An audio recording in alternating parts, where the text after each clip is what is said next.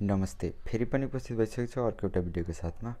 आजको यो भिडियो चाहिँ म तपाईँहरूलाई एनसेल सिम तपाईँले नेपालभन्दा बाहिर जाँदै हुनुहुन्छ अथवा तपाईँ विदेशतिर जाँदै हुनुहुन्छ भने त्यहाँ चाहिँ तपाईँले कसरी युज गर्न सक्नुहुन्छ भन्ने कुराहरू आजको यो भिडियोमा तपाईँले एकदम डिटेल्समा बुझ्न सक्नुहुन्छ र साथै अब यदि तपाईँ विदेश जान लाग्नुभएको छ इन्डिया अथवा चाइनाभन्दा बाहिर भने त्यहाँ चाहिँ तपाईँले नेपालको सिम कसरी युज गर्न सक्नुहुन्छ जुन एनसेल भन्ने कुराहरू आजको यो भिडियोमा बुझ्न सक्नुहुन्छ र साथै अब तपाईँको सिमबाट मोबाइल ब्याङ्किङ छ अथवा तपाईँले आइपीओहरू भर्नुहुन्छ अथवा तपाईँ नेपालभन्दा बाहिर गइसकेपछि विदेश गइसकेपछि त्यहाँ तपाईँलाई अब दुई चार दिन सिमहरू कहाँबाट लिने कसरी लिने भन्ने कुराहरू हुन्छ र त्यसपछि तपाईँले अब नेपालमा आफ्नो आफन्तलाई कल गर्न मेसेज गर्न पनि सक्नुहुन्न।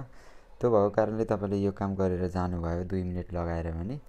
सजिलैसँग तपाईँले त्यहाँ गएर पनि मेसेज कल गर्न सक्नुभयो र तपाईँको आफ्नो अरू कामहरू पनि गर्न सक्नुहुन्छ।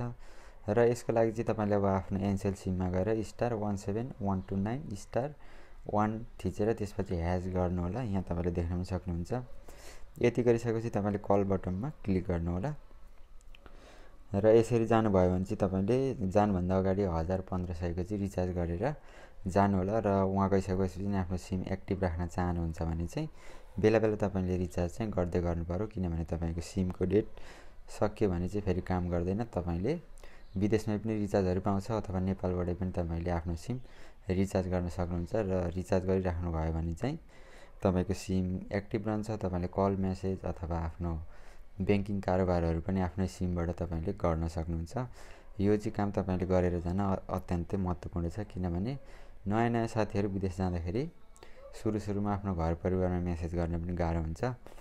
र तपाईँले अब यही हो star one seven one two nine star त्यसपछि वान ह्याज क्लिक गरेर कल बटनमा क्लिक गर्नु होला। त्यसपछि तपाईँलाई यहाँ भनेको छ एक्टिभ एक्टिभ रोमिङ भनेको छ। तपाईँले नम्बर एकमा चाहिँ देखाएको क्लिक गर्नु होला। तपाईँले नम्बर वान थिचेर सेन्ड गर्नु होला।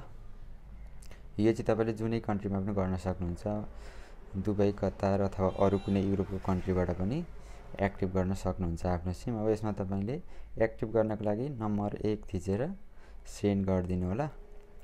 त्यति गरिसकेपछि तपाईँको सिम एक्टिभ हुन्छ र मैले भने जस्तै तपाईँले आफ्नो सिम चाहिँ बेला बेला रिचार्ज गर्दै गर्नु पऱ्यो अथवा तपाईँ नेपालबाट जानुभन्दा अगाडि नै हजार पन्ध्र सय कति लगाउन सक्नुहुन्छ त्यति रिचार्ज गरेर जानुभयो भने चाहिँ तपाईँको सिम एक्टिभ हुन्छ र तपाईँले अब जहीँबाट पनि कल मेसेज अथवा अरू कामहरू सजिलैसँग आफ्नो मोबाइलबाट गर्न सक्नुहुन्छ र तपाईँलाई इमर्जेन्सी परेको बेला पनि तपाईँले नेपाल सम्पर्क गर्न सक्नुहुन्छ। यसरी तपाईँले ट्राई गर्न सक्नुहुन्छ र त्यति गरिसकेपछि यहाँ देख्न सक्नुहुन्छ तपाईँको यो रोमिङ सिस्टम चाहिँ सक्सेस भइसकेको छ। यसरी तपाईँले एक्टिभ गरेर आफ्नो काम चलाउन सक्नुहुन्छ। यो तरिका तपाईँले अपनाउनु होला। र यस्तै यस्तै भिडियोहरू हेर्नको लागि यो च्यानलमा जोडेर तपाईँले सब्सक्राइब गर्न पनि सक्नुहुन्छ। भन्दै आजको भिडियो नै नमस्ते